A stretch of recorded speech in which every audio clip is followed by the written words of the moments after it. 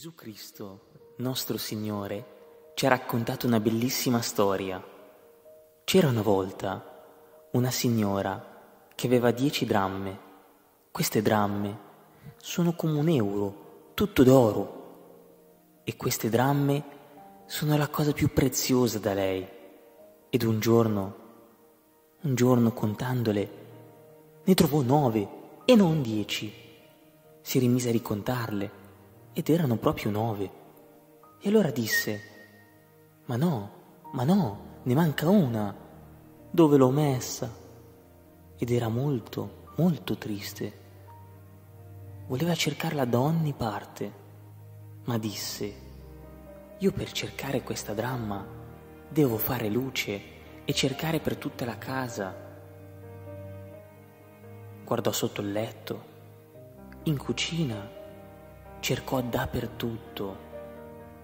Dovevano ritornare dieci come erano, ma, ma non riusciva proprio a trovarla. Quando all'improvviso la trovò, la trovò sotto la sedia che era nascosta. E allora prese questa dama, che era felicissima, e andò a bussare a tutti i suoi vicini e disse loro, venite, venite tutti, vi do una grandissima notizia. La dramma che era perduta l'ho ritrovata. E tutti le dissero auguri, augurissimi.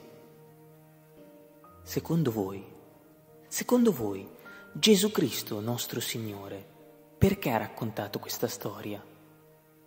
Quella brava signora è come la Chiesa, che ha dieci figli, a lei molto, molto cari.